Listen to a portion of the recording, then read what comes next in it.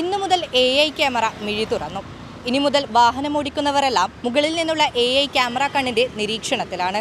Motor വാഹന വകുപ്പിന്റെ എഴുന്നൂറ്റി ഇരുപത്തിയാറ് ആർട്ടിഫിഷ്യൽ ഇന്റലിജൻസ് ക്യാമറകളാണ് നിയമലംഘനങ്ങൾ നിരീക്ഷിക്കുക. ഹെൽമറ്റും സീറ്റ് ബെൽറ്റും ധരിക്കാതെയുള്ള യാത്ര. രണ്ടിലധികം പേർ ഇരുചക്ര വാഹനങ്ങളിൽ സഞ്ചരിക്കുന്നത്. അനധികൃത പാർക്കിംഗ് ഡ്രൈവിംഗിനിടയിലുള്ള മൊബൈൽ ഫോൺ ഉപയോഗം തുടങ്ങിയവയ്ക്കാണ് ആദ്യഘട്ടത്തിൽ പിടിവീഴുക. കെൽട്രോണിന്റെ സഹായത്തോടെ ഇരുന്നൂറ്റി മുപ്പത്തിരണ്ട് കോടി രൂപ മുടക്കിയാണ് എ ഐ ക്യാമറകൾ സ്ഥാപിച്ചത്. ട്രയൽ നടത്തിയപ്പോൾ ഒരു മാസം ഏകദേശം തൊണ്ണൂറായിരം കേസുകളാണ് ക്യാമറകൾ കണ്ടെത്തിയത്. അടിയന്തര ആവശ്യ വാഹനങ്ങൾക്ക് പിഴയിൽ നിന്ന് ഇളവുണ്ടാകും. തിരുവനന്തപുരത്താണ് എ ഐ ക്യാമറകൾ നിരീക്ഷിക്കുന്ന സെൻട്രൽ കൺട്രോൾ റൂം.